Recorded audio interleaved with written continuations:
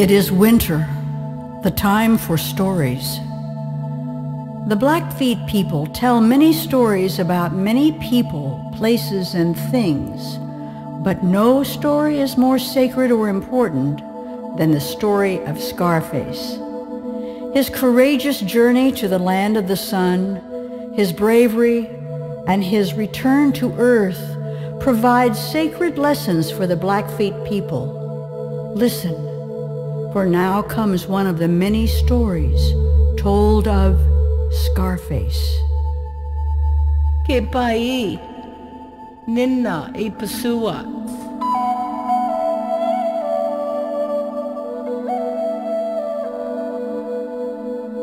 Once there lived a girl who was kind and beautiful. Many young men wanted to marry her, but one by one she turned them away. This concerned her mother and father, and they asked, Why will you not marry any of these young men? They are fine young men. The girl explained that Natusi's son had once visited her and told her she could not marry anyone, for she belonged only to him. Her parents accepted her explanation and no more was said to her. Even so, young men still asked to marry. Now in that same place lived a young man whose body was strong and pleasing. He would have been handsome were it not for a terrible scar on his face. His name was Pai, Scarface. Scarface was an orphan. Having no one, he grew up going from one family to another for food and clothing. But all his life he cried, for always there were people who laughed at him and made fun of his scarred face and the fact that he was pitiful. One day the young men in the camp were making fun of him and one said, Scarface, the girl has refused to marry us, but you are so handsome. You should ask her to marry you. And since you are so rich, said another, she will certainly choose to marry you. And then they all laughed. Scarface went off by himself. He had seen the girl many times, and he had come to love her. He decided to go to the girl, profess his love, and ask her to marry him. He found the girl standing by a stream. I am Scarface, he said. I am poor and ugly, but I am a good person. I love you and I want to marry you. And to his amazement, the girl said, I care not if you are poor. I will marry you. But first you must go to Sun and ask permission to marry me. Ask Sun to remove your scar as a sign that we truly have his blessing. Scarface thought to himself, I know not where Sun lives. His lodge is surely far away. I fear I won't be able to find it. But he gathered his courage and went to a kind old woman who had befriended him and said, I must find my way to the lodge of the sun. I don't know where I am going, and I will be gone a long time. The old woman made moccasins, clothes, and packed food for him, and when all was prepared, Scarface began his journey. He traveled over prairies, valleys, and high snow-covered mountains. Once he was afraid and lonely. Often he prayed. Wolf and bear and badger helped him along his way, but still he could not find the Lodge of the Sun. In time his clothes and his moccasins were badly worn and he was without food. Just as he was about to give up his search, he came to a large body of water. Water which seemed to go on forever. It was then that Wolverine appeared before Scarface and whispered, Sun's house is on the other side of the water. Wolverine left as quickly as he had appeared. I cannot get across all this water, thought Scarface. I have failed. I cannot reach the Lodge of the Sun, and I am too far away to return to my people. I will die in this place. Just then two white swans appeared and spoke to him. We will take you to the lodge of the sun. Lie down on our backs. Scarface settled himself upon the backs of the swans, and they swam him across the deep water filled with strange creatures and sea monsters. Upon reaching the sun's land, he saw a handsome young man standing near the water's edge. Scarface waved to him, saying, I am Scarface, and I am looking for the Lodge of the Sun. I am Ipasuwats, Morning Star. Sun is my father, said the young man. I will take you to his lodge. When they entered the lodge, Morning Star's mother, Kokomikisum, Moon, welcomed Scarface and gave him food. She learned that Scarface had come to ask permission to marry the girl he loved. That night when Sun returned home, he too welcomed Scarface and invited him to live with them for as long as he wished. Soon after, Morning Star and Scarface went out hunting when they reached a place where there lived seven evil birds.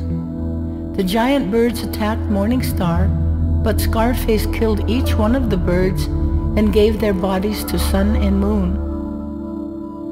We must repay Scarface for saving our son's life, said Moon. Sun then gave permission to Scarface to wed the girl.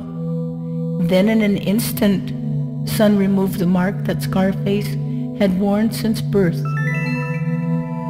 Sun then told Scarface to tell the Blackfeet people to hold a special ceremony that would cleanse and heal the bodies and hearts of the people. Sun instructed Scarface in the ways of the healing sweat lodge. Scarface learned the special prayers and songs for the ceremony which is held to this day. Sun and Moon showed Scarface the sparkling wolf trail, the trail in the sky that some people call the Milky Way. It was on the wolf trail that Scarface returned to the earth and to his people.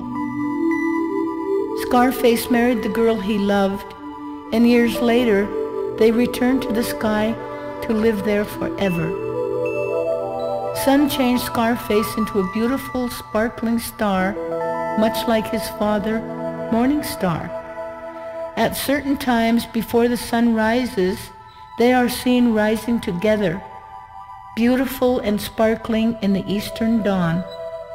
Sometimes Scarface is seen before his father Morning Star rises, and then he is called by his sometime name, which is mistaken Morning Star. There are more stories about Scarface, but the time for this story is over.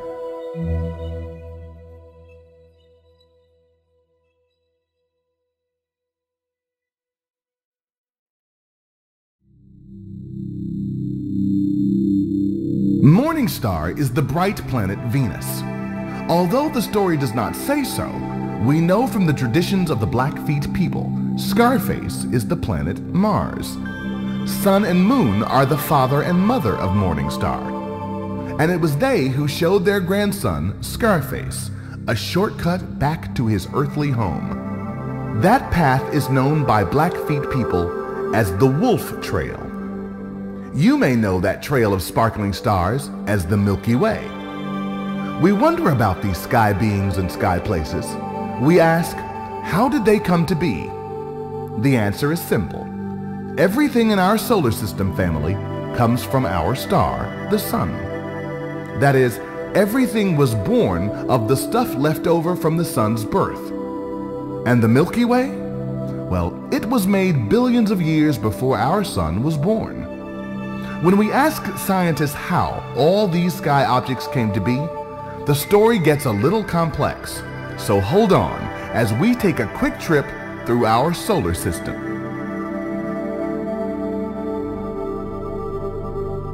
People often think of space as empty, but here and there, floating among the stars, are great clouds made mostly of hydrogen gas and particles of dust. It was from one of those star clouds that our sun, our solar system, and all that exists in our solar system family came to be. Our star cloud was so large it collapsed under its own weight.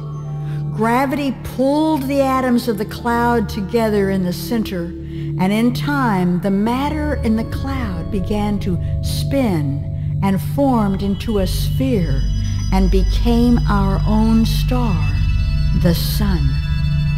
The cloud was so large that there were leftover gases and stardust that flattened out and began to revolve around the newborn sun.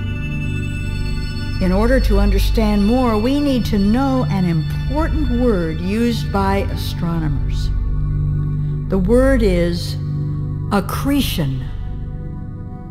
Accretion is a process that lets some things grow slowly in layers by adding to the original object. You know this already. If you've ever made a snowman, you started with a small amount of snow. You stuck more snow onto the surface of the first snowball to make it larger. You could say the small snowball grew through accretion.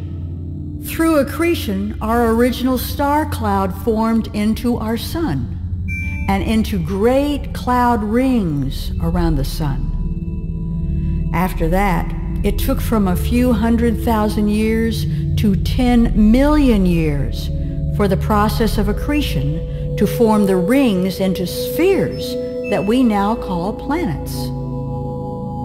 Starting in the center of it all is the most powerful sky being in our family, the sun. Then come the planets, First out from the sun is, and you can say them with me, Mercury, Venus, Earth, Mars, an area called the asteroid belt where there are all sizes of space rocks from pebbles to some boulders as big as a house.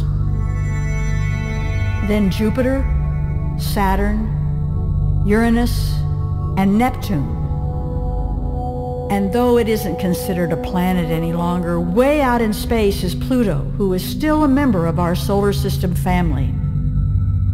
And way, way out, millions and millions of miles into space, circling around the sun, is where the comets live.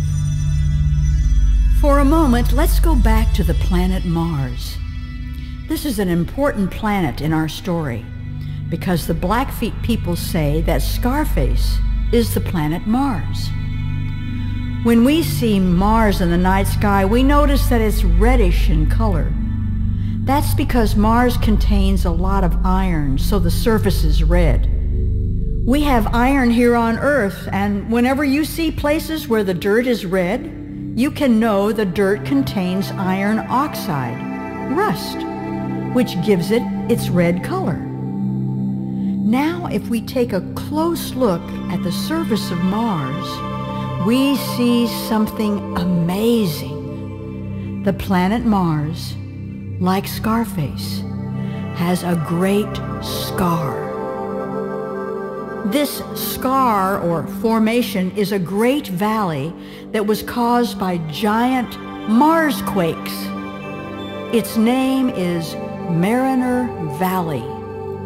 It is four miles deep, more than a hundred miles wide, and almost 3,000 miles long. To get an idea of its size, Mariner Valley would stretch almost all the way from New York to California. Back in the beginning of our solar system, there were hundreds of objects, smaller than planets, called planetesimals. Through accretion, these planetesimals collided with one another and over billions of years, our solar system ended up with just the eight planets we know. Even so, our solar system still has numerous objects the size of Pluto, plus more than 150 moons. Thinking of our solar system as a family is a good way to remember their names learn how they differ from one another, and just get to know them. But there is yet a larger family that we are a part of. Remember the Wolf Trail? The Milky Way? The shortcut back to the Earth that Sun and Moon told Scarface to take? That part of the night sky we see as a thin band of light reaching from one horizon to the other? In ancient times, many people called it a sky path or a sky river. It looks like a path or a trail or a stream, but for many years scientists have known that we are looking through space at billions of stars that make up our galaxy, the Milky Way galaxy. If we could travel into deep space and look back at our Milky Way, we would see that our sun is just one of billions of stars swirling around in space. Our Milky Way galaxy has great arms that spiral out from its center, much like a hurricane. It is known as a spiral galaxy. Astronomers have determined that our sun is located closer to the edge of our galaxy than the center, so we would be right about here.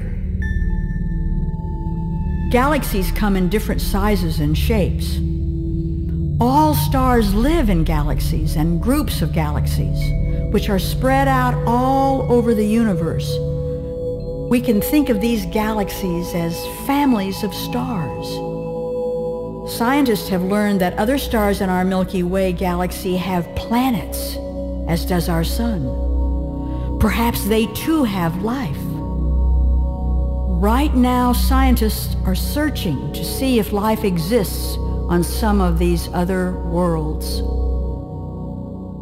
The story of Scarface is a story of a hero and his sky family. The Blackfeet people, through their stories, remind us that we are all a family. All. All of us belong to our earth and sky family.